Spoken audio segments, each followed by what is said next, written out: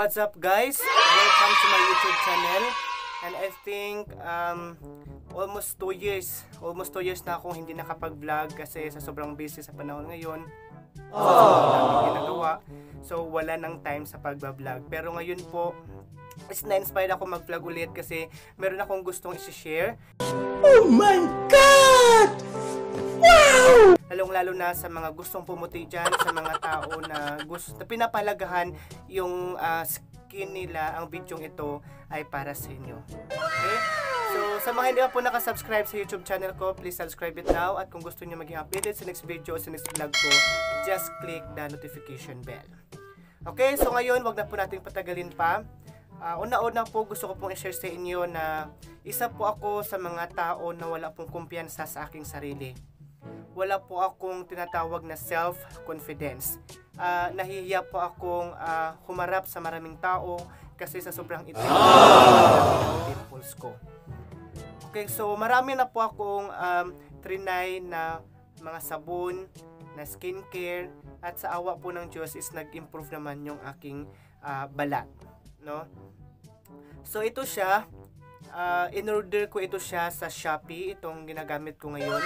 Although matagal siyang ah, dumating, ah, pero worth it naman. yung paghihintay.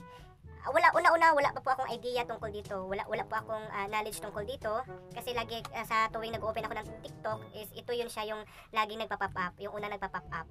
Okay, so kaya ayun, ah, nakita ko na marami na nag-order, marami nang gumamit, kaya ah, sinubukan ko na rin.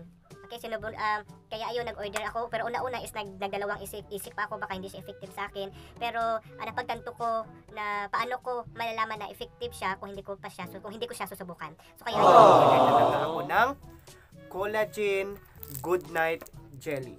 Ito po yun siya, itong Collagen Good Night Jelly. Yes.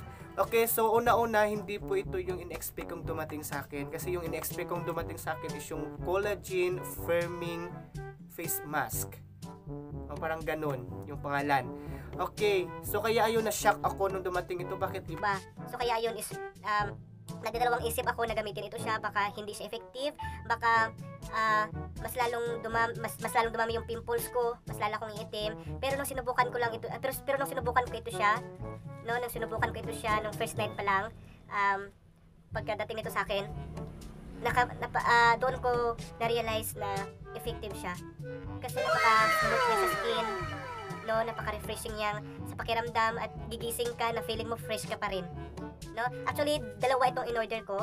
Ah, nagba, nag, ano talaga ako na dalawa yung in-order ko napakaganda niya kasi nakabalot pa nito siya walang sira lahat po Ah, ito, ito siya is kumbaga kung i-rate ko ito siya 5 stars siya sa akin okay so ginagamit ko lang ito siya every night okay so bago ko ito siya nilalagay is meron pa akong toner na nilalagay sa mukha ko so kaya ayun um, masasabi ko talaga na effective siya kasi meron akong narinig na feedback sa mga kaibigan ko. Ah, sinabi nila na bakit ah, ah, medyo maputi na ako, clear skin na ako. Kaya, ah, kaya ayun, na pag um, na-realize ko na talaga na nang dahil dito is nagkaroon ako ng tinatawag na clear skin. No, kasi alam naman natin na gusto rin natin magkaroon ng clear skin, ma- ng, ng, ng maputing balat at natural lang naman yun sa tao paano ba natin ito siya gagamitin? Okay, so ngayon ituturo ko sa inyo kung paano gumamit ng ng collagen na ito. Okay, so una-una ilagay nyo lang po siya dito sa kamay. Okay, ilagay nyo lang po siya dito. Actually, meron siya para siyang tubig, napaka-clear, napaka ah, clear niya. Kaya para siyang aloe vera. Mm, aloe vera ba yun siya? Tapos ilagay lang po natin sa ating mukha. Okay? Lagyan po natin yung buo nating mukha, yung lahat talaga ng mukha natin para sa gayo is pantay yung pagkaputi niya. No, pantay. lagyan talaga natin yung buong mukha natin. At huwag din po natin kalimutan lagyan yung ating lieg. Kasi hindi naman siya maganda tingnan na yung lieg lang, yung mukha lang natin yung maputi, tapos yung lieg natin ang itim. Diba? So huwag natin kalimutan lagyan yung ating So ayun na. So tapos na tayo. So kaya sa mga gustong sumubok nito, sa mga gustong mag-try nito, ah, wag na po kayong magdalawang isip. Subukan niyo na po ito para sa kayo is malaman niyo kung effective ba talaga siya o hindi. Pero kung hindi naman ah, siya um, anong tawag, kung hindi naman siya ano sa inyo kung, kung hindi naman kayo hiyang nito so wa, wag na kayong gumamit no? Pero para kasi sa akin kasi is hiyang na hiya ako dito nagkaroon ako ng ano tinatawag na medyo ah, ito yung tumulong sa akin na magkaroon ulit ng self confidence mabubus out yung self confidence ko. Kaya salamat talaga sa sa product na ito. So kaya ayun sa mga gustong gumamit gumamit na po kayo Okay? So, thank you so much. So, I hope is nakatulong ako sa inyo.